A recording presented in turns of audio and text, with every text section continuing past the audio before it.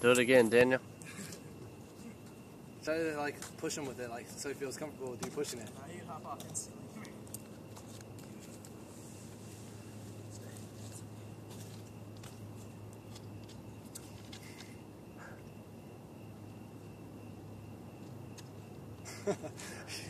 You better not piss on it.